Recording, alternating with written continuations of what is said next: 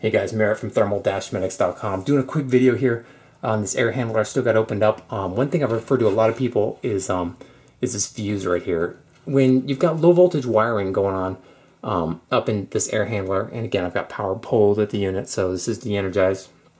Um, so you're wiring a thermostat, so you've got uh, a, a, surge from a thunderstorm that's passed through.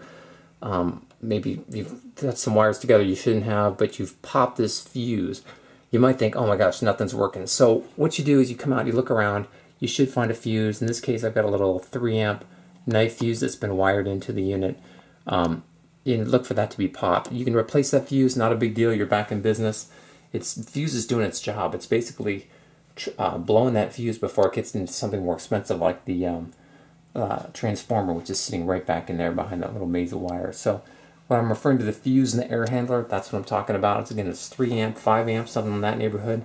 Hopefully you can find it, swap it out, and um, that'll help you. Sometimes a way to tell too that you've got an issue with that, just really quick, is that you, your your um your your thermostat is totally blank. You have no power at all to anything. You go to the fan motor, you go to auto and on, you get nothing. Go to heat, cool, you get nothing at all.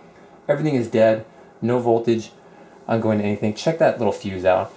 Um, the transformer may have gone bad, or maybe you just got you pop that fuse, and if that's the case, that'll get you back on real quick, and a real simple DIY sort of fix. Other than that, take care. Thanks again for all the beers you've been buying me at thermal-medics.com. See ya.